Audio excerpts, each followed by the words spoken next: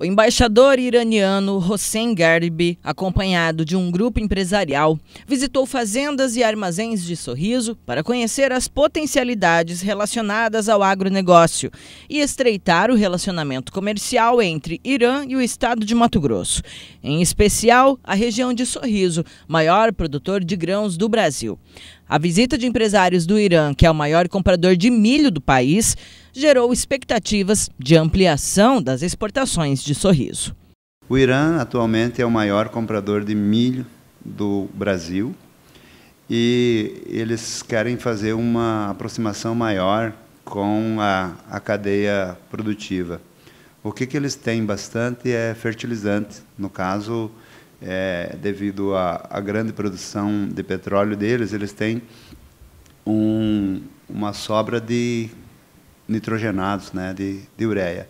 A intenção deles é fazer uma troca dessa ureia, que nós utilizamos bastante aqui, por milho Segundo o empresário, a expectativa é de que em breve Sorriso amplie os negócios com o Irã, que promete entregar o petróleo no mínimo 10% mais barato que o oferecido pela Petrobras. Nós temos certeza que os negócios vão, vão ampliar, vão, vão acontecer e o projeto deles é, para com o, o Brasil é muito grandioso, né? Eles têm necessidade de, de milho e de, e de soja e querem trazer para cá o fertilizante, querem trazer para cá também o, o petróleo, né?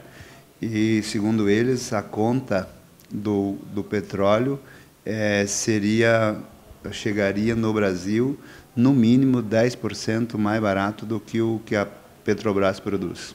Além de conhecer as estruturas da indústria sorrisense do grupo Safras, a comitiva teve a oportunidade de acompanhar o processo de produção do etanol à base do milho e ainda acompanhar o processo de colheita da soja. Sorriso foi a única cidade do Mato Grosso que recebeu a visita da comitiva iraniana.